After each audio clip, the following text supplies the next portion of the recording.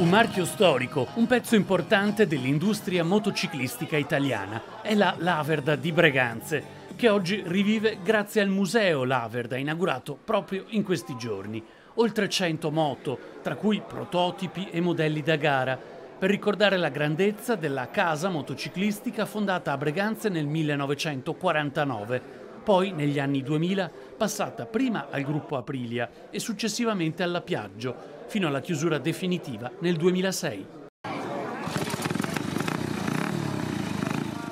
Un motore che emoziona tutti gli appassionati. Sono arrivati in tanti per l'apertura di questo straordinario scrigno di potenza e storia che oltre alle moto permette di ammirare tute e caschi, livree, strumenti di lavoro della fabbrica e ancora fotografie, insegne e cartelli pubblicitari. Il nuovo museo è stato creato da Werner Ricciolini, imprenditore, grande appassionato del marchio. L'abbiamo concretizzato, l'abbiamo visto insieme e poi l'abbiamo messo in pratica insieme con le mani. Ricciolini, affiancato dalla moglie Irina, ha rilevato tutta la collezione olandese dello scomparso Cordes. Ha aggiunto molti pezzi di sua proprietà, trovato la sede e ottenuta la collaborazione dell'amministrazione comunale.